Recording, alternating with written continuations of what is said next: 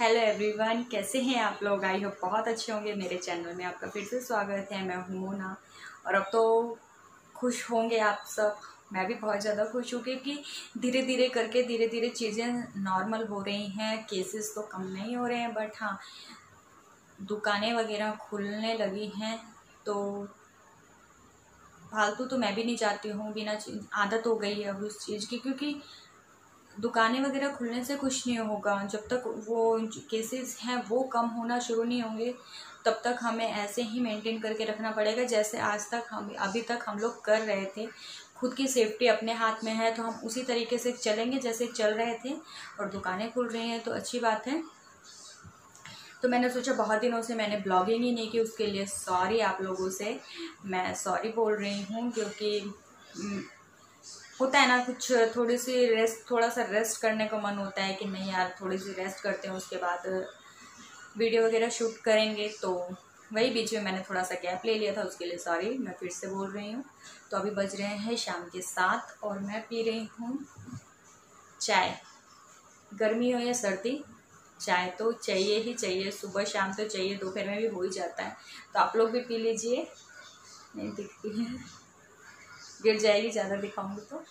तो फिर आप लोग भी पी लीजिए और आज मैं आप लोगों के साथ अपना डिनर रूटीन शेयर करूँगी। डिनर में मैं बनाने जा रही हूँ दाल, चावल और करेले की सब्ज़ी। तो दाल, चावल तो सबको मतलब सब बनाते हैं और मैंने कितनी बार दिखा भी रखा है। करेले की सब्ज़ी मैं पहली बार बना रही हूँ। मतलब पहली बार दिखाऊँगी आप लोगों को। तो हम, आप लोग किस तरीके से बनाते हैं? सबका अपना अपना तरीका होता है। मैं गाँव में जैसे बनाते हैं, बिहारी स्टाइल में, सेम वैसा ही बनाऊँगी मैं। तो मैं आप लोगों के साथ शेयर करूँगी। आई होप आप लोगों को पसंद आया को सच में बहुत टेस्टी बनता है। तो मैं पहले चाय पी लेती हूँ। और आरुष अभी सो रखा है। तो मैं बना लेती हूँ। उठने वाला है वो थोड़ी देर में। तो मैं पी लेती हूँ चाय। उसके बाद मिलती हूँ आपको मैं किचन में। हेलो फ्रेंड्स तो मैंने बोला था कि मैं आपको किचन में मिलती हूँ थोड़ी देर बाद। तो मैंने सब्ज़ी की तैयारी कर ली है। अभी मैंने यही ज़रूरत है यही चाहिए होता है। और ये है करेला। दो करेला लिया है मैंने। और प्याज थोड़ा ज़्यादा चाहिए होता है। तो इतना मैंने प्याज लिया है छोटे छोटे चार प्याज लिए हैं मैंने। तो और ये थोड़ा सा पका हुआ निकल गया था। तो पहले करेले को हम फ्राई करेंगे तो चलिए पहले करेले को फ्राई कर लेते हैं। तो ये देखिए, तेल लाल हो सॉरी तेल गरम हो चुका है और अब मैं इसमें करेला डालूँगी और करेला जब तक फ्राई करना है, जब तक करेला एकदम रेड ना हो जाए। तो इसको कर लेते हैं फ्राई। और तेल थोड़ा ज़्यादा ही लेना है, ताकि अच्छे से फ्राई हो जाए।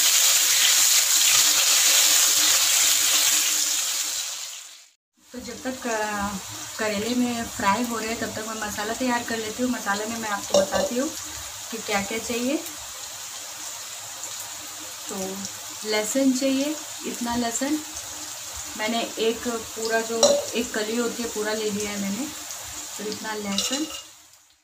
धनिया पाउडर अगर आपके पास धनिया पाउडर अगर आपके पास सा, साबुत धनिया है तो वो भी ले सकते हैं।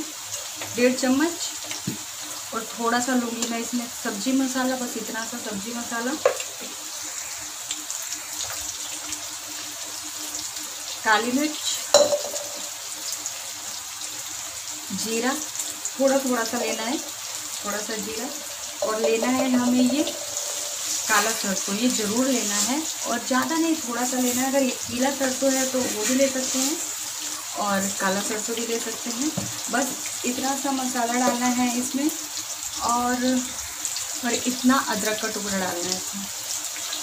जैसे फ़िश करी का मसाला तैयार करते हैं, लगभग उसी तरीके से तैयार करना है। और ये देखिए करेला। अच्छी तरीके से भून चुका है थोड़ा सा और भूनूँगी मैं इसे।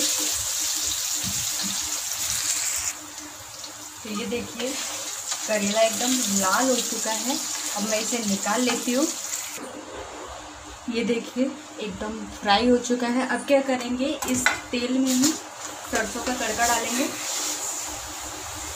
थोड़ा सा डालेंगे, सरसों का तड़का लगाएँगे। और ये जो हमने प्याज कट करके रखा है और छोटे छोटे टुकड़ों में ही प्याज को काटें।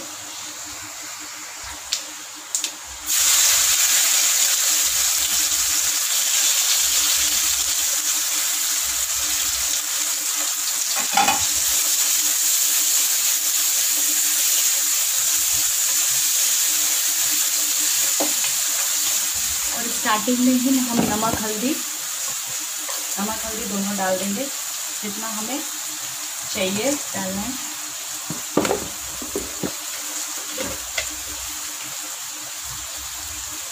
अपने स्वाद के अनुसार, क्योंकि नमक थोड़ा सा ज़्यादा ही डालेंगे, क्योंकि लास्ट में मैं खट्टा डालूँगी इसमें। और इसे प्याज को लाल होने तक भून देंगे हम इसे। और जब तक प्याज हमारा लाल हो रहा है, उतनी देर में हम इस आमे को छील लेते हैं, और इसे छील के मैं पीस लूँगी। तो चलिए इसे मैं छील लेती हूँ। अगर आमी नहीं है तो आमचूर डाल सकते हैं, दही भी डाल सकते हैं, नींबू भी डाल सकते हैं, खट्टे के लिए कुछ भी डाल सकते हैं। अभी तो जब आमी मिल रहा है तो फिर कुछ और डालने की ज़रूरत ही नहीं है। मैं आमी भी डालूँगी तो चलिए इसे छील के पीस लेते हैं। तो ये देखिए, प्याज एकदम रेड हो चुका है। तो जो मैंने मसाला पीस के रखा हुआ है, ये ऐड कर दूँगी।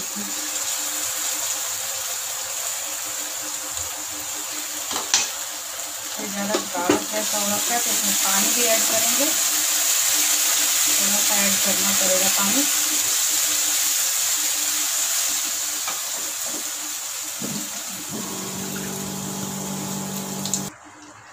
वैसे करेले में तो मिर्च यूज़ नहीं करते हैं, मैं मिर्च यूज़ नहीं करती, लेकिन थोड़ा सा कलर अच्छा आ जाए, इसके लिए मैं यूज़ करूँगी कश्मीरी लाल मिर्च पाउडर।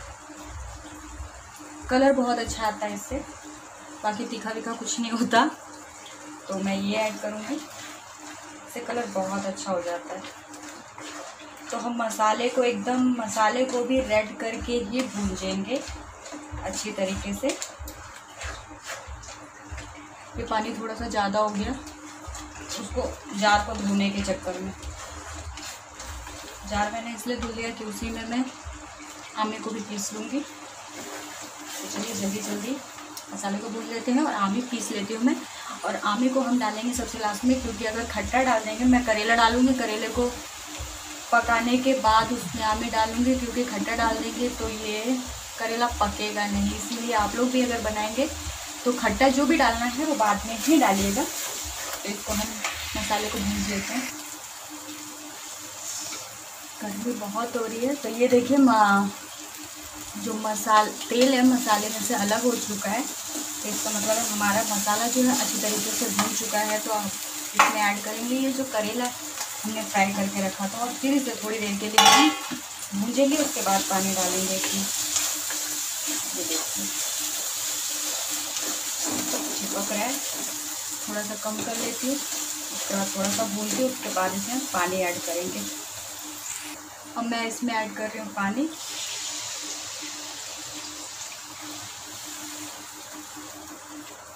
ये देखिए।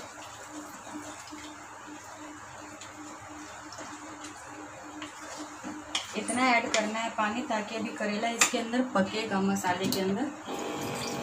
तभी वो करेले के अंदर उसका टेस्ट जाएगा।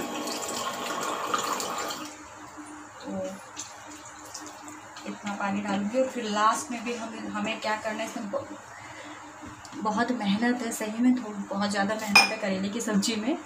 तो इसे क्या करना है, अब थोड़ा सा मीडियम फ्लेम करके इसे पकने के लिए छोड़ देना है और जब पानी थोड़ा बहुत सूख जाएगा इसका, तब इसमें डालेंगे ये आमी है जो मैंने पीस लिए है। तो छोड़ देते हैं इसको। तो ये देखिए, इसका ये गाढ़ा हो चुका है तो इसमें मैं अब डाल रही हूँ खटाई।